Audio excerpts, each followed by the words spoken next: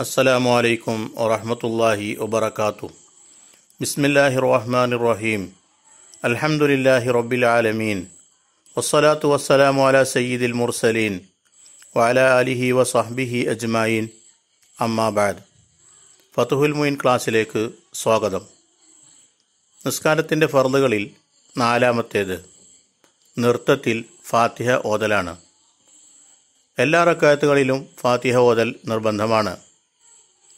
മനഃപ്പാടമാക്കി ഓതിയാലും മറ്റൊരാൾ പറഞ്ഞു കൊടുക്കുന്നത് കേട്ടോതിയാലും മുസ്ഹഫ് നോക്കി ഓതിയാലും മതിയാവുന്നതാണ്. ലാ സൊലാത്ത ലിമല്ലം യക്രബി ഫാത്തിഹത്തിൽ കിതാബ്.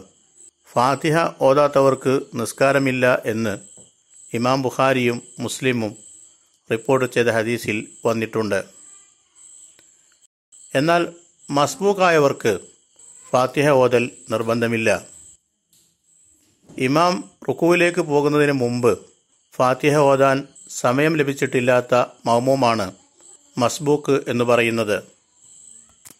ഒന്നാമത്തെ റക്കായത്തിൽ ഇമാമ് ആദ്യമേ നിസ്കാരം തുടങ്ങിയതുകൊണ്ടും മഹമൂമ് നിസ്കാരത്തിലേക്ക് പ്രവേശിക്കാൻ വൈകിയതുകൊണ്ടുമാണ് മസ്ബൂക്കായിത്തീരുന്നത്. മറ്റു റക്കായത്തുകളിലും മസ്ബൂക്കാക്കാവുന്നതാണ്. അതിന്റെ കാരണങ്ങളാണ് ഇനി വിശദീകരിക്കുന്നത്. നിസ്കരിക്കുന്ന സ്ഥലത്തുള്ള തിക്കും തിരക്കും കാരണത്തിനാൽ സുജൂതിൽ നിന്ന് മഹ്മൂമ് എഴുന്നേറ്റ് വരാൻ താമസിക്കുകയും എഴുന്നേറ്റ് വന്നപ്പോഴേക്ക് ഇമാം ഫാത്തിഹ പൂർത്തിയാക്കി റുക്കുവിലേക്ക് പോവുകയും ചെയ്തു. അല്ലെങ്കിൽ നിസ്കാരത്തിന്റെ കാര്യം മറന്നുകൊണ്ട് മഹ്മൂമ് സുജൂതിൽ ദീർഘനേരം താമസിക്കുകയും എഴുന്നേറ്റ് വന്നപ്പോഴേക്ക് ഇമാം ഫാത്തിഹ പൂർത്തിയാക്കി റുക്കുവിലേക്ക് പോവുകയും ചെയ്തു. അതുമല്ലെങ്കിൽ മഹ്മൂമിന്റെ ചലനങ്ങൾ തീരെ വേഗതയില്ലാത്തതുകൊണ്ട് മഹ്മൂമ് എഴുന്നേറ്റ് വന്നപ്പോഴേക്ക് ഇമാം ഫാത്തിഹ പൂർത്തിയാക്കി റുക്കുവിലേക്ക് പോയി. ഈ കാരണങ്ങൾ കൊണ്ടെല്ലാം മറ്റു റക്കായത്തുകളിലും മസ്ബുക്കായി തീരാവുന്നതാണ്. ഈ സ്ഥലങ്ങളിലെല്ലാം മഹ്മൂമിന് ഫാത്തിഹ ഓതാൻ തീരെ സമയം ലഭിച്ചിട്ടില്ലെങ്കിൽ ഇമാമിന്റെ കൂടെ റുക്കുവിലേക്ക് പോകേണ്ടതാണ്. ഫാത്തിഹയുടെ കുറച്ചു ഭാഗം മാത്രം ഓതാൻ സാധിച്ചാൽ അത്രയും ഭാഗം ഓതി ഇമാമിന്റെ കൂടെ റുക്കുവിലേക്ക് പോകേണ്ടതാണ്. ഫാത്തിഹ ഒട്ടും ഓതിയിട്ടില്ലെങ്കിൽ അത് മുഴുവൻ ഇമാമ് ഏറ്റെടുത്തതായി കണക്കാക്കപ്പെടുന്നു.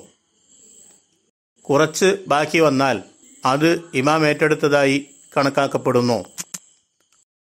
പക്ഷേ ഉതു മുറിഞ്ഞതുകൊണ്ടോ മറ്റോ ഇമാമിന് ശുദ്ധിയില്ലായിരുന്നു എന്ന് പിന്നീട് ബോധ്യപ്പെടരുത് എന്നു മാത്രം. അതുപോലെ തന്നെ ഇമാമിന്റെ ആ റക്കായത്ത് കണക്കിൽപ്പെടുന്നതിനേക്കാൾ കൂടുതലായി തീരരുത് എന്നതും നിബന്ധനയാണ്. ഇങ്ങനെയുള്ള കാരണങ്ങൾ കൊണ്ട് മസ്ബൂക്കായ ആൾ ഫാത്തിഹ ഓതാതെ ഇമാമിന്റെ കൂടെ റുക്കുവിലേക്ക് പോകേണ്ടതാണ്. ഫാത്തിഹ ഓതാൻ വേണ്ടി താമസിക്കുകയും ഇമാമിന്റെ കൂടെ റുക്കു ലഭിക്കാതെ വരികയും ചെയ്താൽ ആ റക്കായത്ത് തന്നെ നഷ്ടപ്പെട്ടു പോകുന്നതാണ്. ഫാത്തിഹയുടെ തുടക്കത്തിൽ ബിസ്മില്ലാഹി റഹ്മാൻ റഹീം എന്നോതൽ നിർബന്ധമാണ്. അത് ഫാത്തിഹയിൽപ്പെട്ട ഒരു ആയത്താണ്. നബി സല്ലാഹു അലഹി വസ്ലമ തങ്ങൾ ബിസ്മില്ലാഹി റഹ്മാൻ റഹീം ഉൾപ്പെടെ ഫാത്തിഹ ഓതിയതിനു ശേഷം ഫാത്തിഹയുടെ ആയത്തായി ബിസ്മിയെ എണ്ണിയിട്ടുണ്ട് ബറാത്ത് സൂറത്തല്ലാത്ത ഖുർആാനിലെ മറ്റ് സൂറത്തുകളിലും ബിസ്മി ആയത്തു തന്നെയാണ്. ഫാത്തിഹയിലെ ഓരോ അക്ഷരങ്ങളും നഷ്ടപ്പെട്ടു പോവാതെ സൂക്ഷിക്കേണ്ടതാണ്.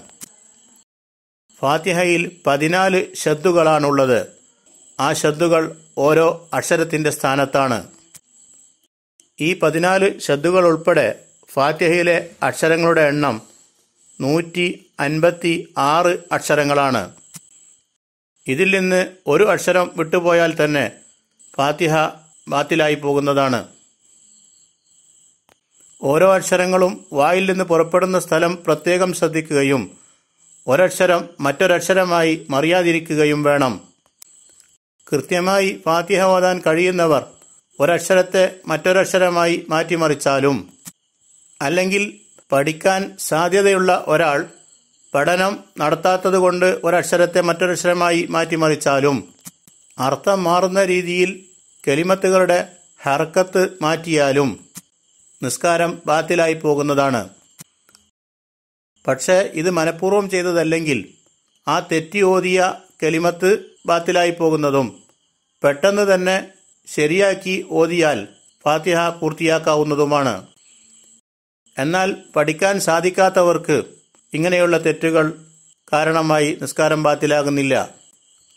അർത്ഥത്തിനു മാറ്റം വരാത്ത രീതിയിൽ കെളിമത്തുകളുടെ ഹറക്കത്ത് മാറ്റിയാലും നിസ്കാരം ബാത്തിലാകുന്നതല്ല. പക്ഷേ മനഃപൂർവം അങ്ങനെ ചെയ്യൽ ഹറാമാണ്. മനഃപൂർവമല്ലെങ്കിൽ അത് കറാഹത്താണ്.